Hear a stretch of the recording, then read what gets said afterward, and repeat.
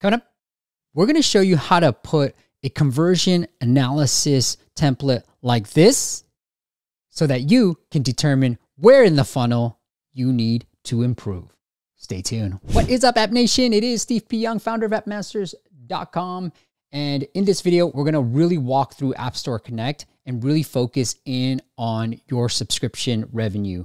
What are those trial activations? Of those trials, how many actually convert to paying customers. And we're going to analyze all that for you. It's something that we started to do for clients right off the jump when we start working together to see if there are any holes in the app funnel and how we can help out with that. And in our previous video, we really break down what are the conversion rates that you should be seeing, the ideal conversion rates that you should be aiming for. So I'll put a card up there for you guys to check that video out if you haven't done so. So let's get into App Store Connect. Here's my App Store Connect data. I don't mind sharing you all the revenue numbers. Now, granted, this is not a big part of our business. We're trying to make it a bigger part, and this is our app portfolio right now. And so, what you want to do is log into App Store Connect, obviously, go into sales and trends. Now, I personally prefer to use App Store Connect versus like RevenueCat, just because I know this is coming from the source, coming from God, right? So it's coming from the source. So you want to go into the sales report first and foremost. First thing we're going to do is go into units. So we want to get the downloads, right? And I'm just going to pick out this app, the Moonlight app that I have. And I'm going to analyze. You can go as far back as you want. I think typically six months is good enough. But if you want to go a whole year to get seasonality in there, that's huge. So since we're already doing it, you might want to do the whole year since you're already doing it. But I'm going to do six months just for this video. So I'm going to go actually back till October 1st and then end of March. So we're going to pick that as a day up here, and then I'm going to select months. All right. And I'm going to hit download. CVS. Cool. So got that. We're going to put this into a handy dandy spreadsheet as well. This is what this is the spreadsheet we're going to be start filling out. I'm just going to go ahead and fill this out for you guys. So I opened up the downloads and I'm just going to fill this in on a month. Cool. So we have that.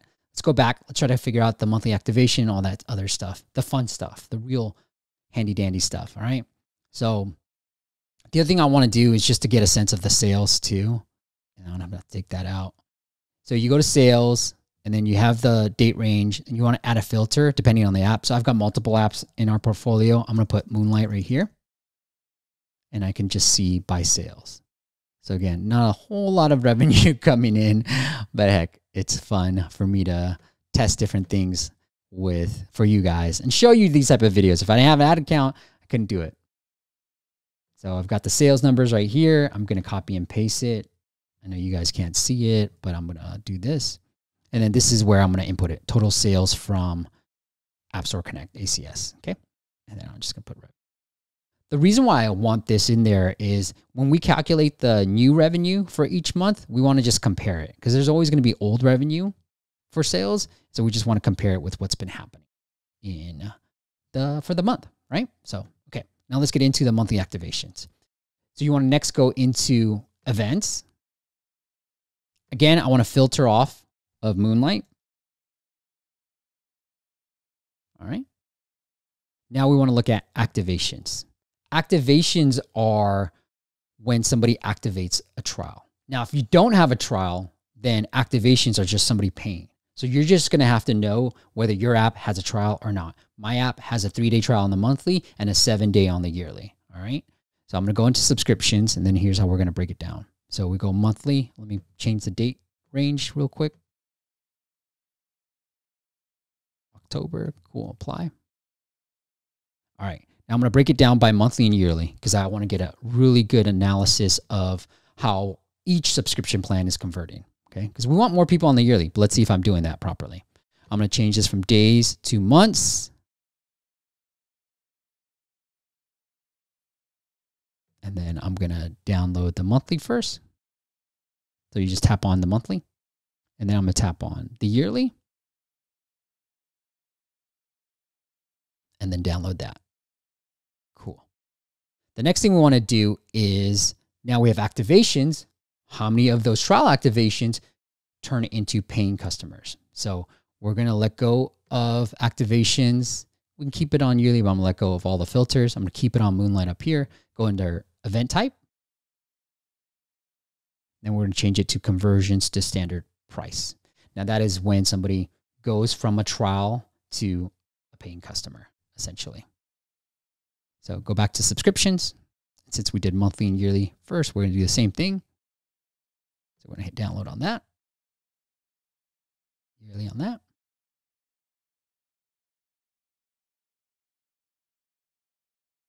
Cool. Now we have that data and we're just gonna input it into our handy dandy spreadsheet. Now let me just copy and paste some of these numbers for you. So this is the monthly activation. You just want to be careful with this. And then we have the yearly activation right here. I'm going to move this over. You want to be good and just copy and paste. So I'm going to do all that. So now that I've copied and pasted the monthly activation, the monthly trial to subscription, the yearly activation, the yearly trial to subscription, I just want to get a sense of real new revenue. Now we can do proceeds if you want, right? So these are the ones that have paid me. So I'm just gonna do five dollars. Now I could theoretically do five times 8.5, 0.85, which is just after Apple's take. But for the sake of this recording, I'm just gonna keep it at five. Make this into a money, and then do that. Now, obviously, this is a this is not a true picture of the activation because theoretically some people could have activated in November but actually converted it in December. But because we're doing a longer month and we just want to get a general sense of how things are going, it doesn't really matter for this case. But I wanted I do want to point that out that I do know. Okay. So this is $20. So I'm going to put whoops here. I'm going to put this by times 20. Okay. And then here I'm able to just start to see this is $45 new revenue. Then this is 76. Now I do have a lifetime offer. Okay, so one of the lifetime offers, what I'm going to do here is go into App Store Connect. Now with lifetime, because it's not a subscription, you're not going to find it under event. So you actually need to go under units is the best way to do this, right? And then you can see I've put in the same dates. I'm going to change this into months and you can see the lifetime offer right here, right? Now these ad units, when you just have it as units, these could be recurring. So they're like pretty much recurring, right? Like things that are recurring or they're new ones. So they don't differentiate it when you just look under units right here. You still see the monthly here, you still see the yearly. But obviously, if you look at this, uh, let's just pick monthly for example. This is 40, this is 5, 10, right? For October and November. But here for the activations, there was zero and then four in November. So the numbers don't line up. That's because some things could just be recurring, right? There's recurring revenue happening. So that's what that number is. So you really want to go into the events for the activations to get that true sense. All right, I'm going to take that out and I'm going to put lifetime. And then download that. I'll import the lifetime and then I'm just going to give the lifetime revenue. The lifetime revenue, this is $30. Cool. Some people are buying the lifetime and then you can just add up all this for new revenue. Cool. And then here I'm just comparing, right? It's like, oh, new revenue. So like $50 is old revenue. And then here, you know, you got maybe half of it is old revenue. And so the old revenue looks like people are canceling. So we can see that the revenue numbers are going down. And then we still have some old revenue right here. And then here, revenue per download. I like to look at new revenue per download. So it's 19 cents, which means I got to really increase my conversion rates or my downloads, right? One of those things. So the next thing we're going to do is just put some calculations in. We want monthly conversion. Again, conversion in this case is just the trial activation. So I'm going to put that as a percentage. And then yearly conversion is going to be one over this. Let's just do this. Boop. Okay. And then I want total. So I'm going to include my lifetime on this one. So I want the activation, plus monthly activation plus yearly activation plus lifetime over downloads. And then just to make sure the math is right, I'm going to put a little parentheses in between all the activations. Boom. Then I can copy and paste here. Boom. So total conversion right here, you see it, and it's pretty low, right? I want to be at that 5%. I'm not quite there. So I need to ve- very much improve my pricing page or the onboarding flow. I need to improve something for this because this is very, very low, especially in March. We had a very low month. Okay.